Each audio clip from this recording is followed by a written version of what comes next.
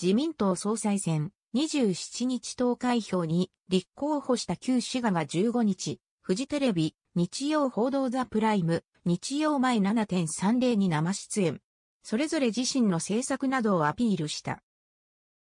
総裁選には、高市早苗経済安全保障担当省、小林隆野前経済安保省、林義正官房長官、小泉進次郎元環境省、上川陽子外相、加藤勝信元官房長官、河野太郎デジタル省、石破茂元幹事長、茂木敏光幹事長と過去最多の9氏が立候補。国会議員票367票と党員票367票の計734票で過半数を獲得すれば当選となるが過半数の候補者がいなかった場合は上位2人による決選投票に。ここでは国会議員票367票に加え、各都道府県連の47票の計414票で争われる。自身の内閣について15秒で主張するコーナーでは、それぞれが以下のように語った。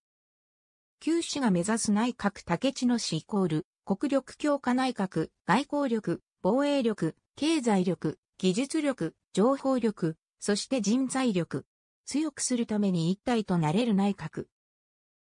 小林氏イコール即戦力内閣、政治の一番重要なポイントは危機管理だと思っています。国際情勢が流動化する中で、デー1からロケットスタートしなければいけません。能力があれば若手からもどんどん起用をし、そして民間からも同様を考えてベストな布陣で、デー1から臨みます。林氏イコール経済再生実感内閣、アベノミクス、そして新しい資本主義でやっとここまで来ました。これを皆さんに実感してもらえる経済再生、実感内閣を目指したい。小泉氏イコール決着内閣、1年で3つの改革。長年議論だけを続けて答えを出せずにいた課題に決着をつける。規制改革、そして人生の選択肢を増やす改革、そして政治改革。これに挑戦する、挑んでいく内閣を作ります。上川市イコール誰一人取り残さない内閣。言葉の出ない赤ちゃんから、またご高齢の皆様、また子育て中の皆様の苦労、さらには非正規で困っている皆さんの正規化を進め、誰一人取り残さない、温かな、そして心優しい社会を作っていく。加藤氏イコール国民所得倍増、好転してきた、情勢、企業の収益は過去最高、また内部留保もこの間に2倍、そして雇用情勢もむしろ人手不足という状況であります。こうした状況を活かして、賃上げを起点として、新しい好循環、いい流れをしっかり実現する。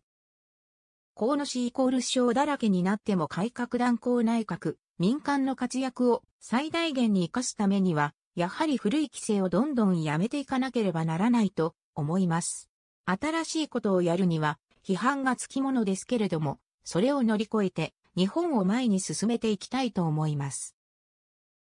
石破氏イコール共感と納得内閣、政治はいろんなことを言うんだけれども、ほとんど信用されていない。そうだよね、わかったよね、それがないと何も前に進まないんです。我々は共感、納得、わかったよ、その通りだよと言ってくださる国民の方がどれだけ増えるか。それをきちんと実行する内閣にしたい。茂木氏イコール経済成長内閣、経済の再生、地方の活力アップ、増税ゼロでしっかり進めてまいります。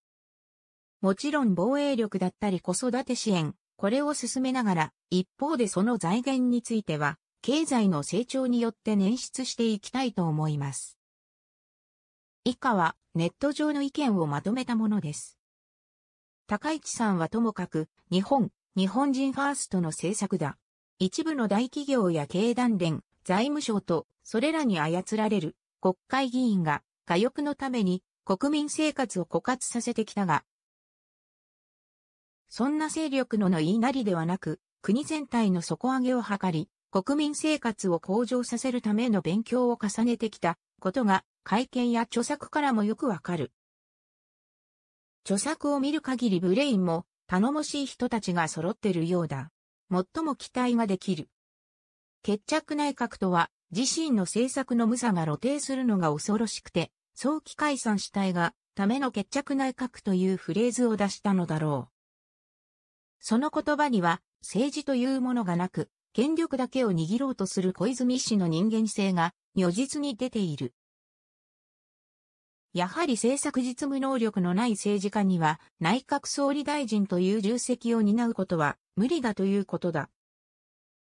多くの国民は、新次郎氏の政治姿勢に呆れ返り、政治を何だと思っているんだ真面目にやれよと、心の底で叫んでいる。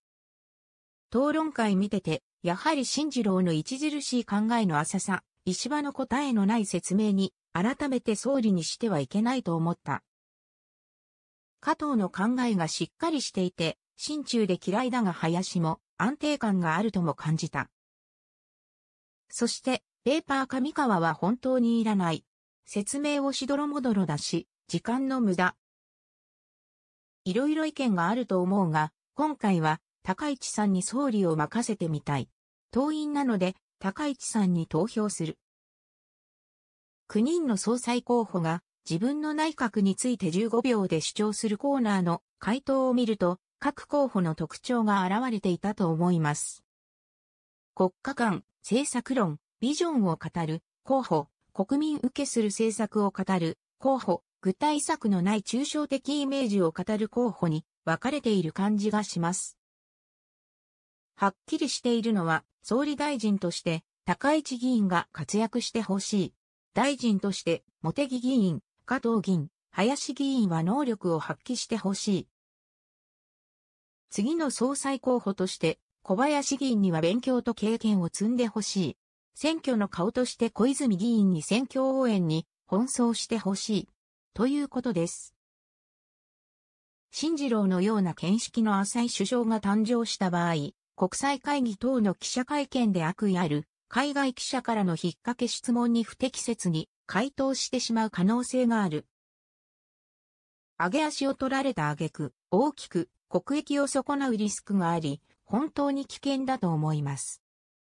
新次郎氏が自身の内閣を決着内閣1年で3つの改革、規制改革、人生の選択肢を増やす改革、政治改革と言ってるが短い説明で、中身は具体性に乏しく内容が薄い印象である。短い時間では、なんとかごまかしてやり過ごしてるが10分時間があれば、ボロが出そうである。国民は、新次郎氏の答弁を見てて、とても総理総裁は無理だろうと感じたと思う。自分一人ではなく、最高のチーム力で乗り越えるとか言ってるが、候補者の中で一番頼りないのは、間違いない。日本国の大事な舵取りをする総理総裁には、ふさわしくない。この3名、小泉氏の決着は、おそらく決着はできない。なぜならば、国論を2分する反対も多い議論も、1年以内に、と言っているが、国会でも反対議論が重なり、到底1年くらい以内にはなかなか進まないはずだ。つまり、絵に描いた餅、石破氏の共感と納得は、ふわふわして曖昧。具体的に何がしたいのかわからない。高市氏の国力強化が一番わかりやすく、具体的かつ期待したい項目だ。素人の私が言うのもなんだけれど、どの総裁候補も帯に端した好きにも短しのような気がする。世界の首脳と会談をするときにどの方も首脳と互角に話ができるのか心配です。自民党の総裁だけなら良いのですが、総裁イコール首相ですからね。小泉氏の労働者の解雇の自由化って、労働者が安心して働けないようなことは、絶対に反対です。私たち一般人が選べない自民党総裁選国会議員や党員の方はよく考えて投票をしていただきたいものです。日本の内閣総理大臣になり得る総裁選だ。はっきり言って、新次郎の掲げる改革、政策はあまりに軽量級で、本人もさることながら総裁選としては場違い感が否めない。先日視聴した番組でも質問の意図を全く理解していなかったが、総裁選というもの自体理解されてないのではないか。まず、現在の世界情勢を見据えた上で、日本のあるべき姿と方向性を示すのが総裁になるべく人であり、それで初めて、この総裁選の土俵に乗れる。重要課題は、防衛、経済、安全保障、外交だ。外交に関する質問でも、対中国として問われているのに、台湾の話をしてしまう危うさ。また、北朝鮮のトップと自分は同い年、カナダのトップも同い年だからきっとうまくいく的な幼稚さ。新次郎を担ぐ議員にも呆れるが、とてもじゃないが、よく総裁選に出てきたなという印象しかない。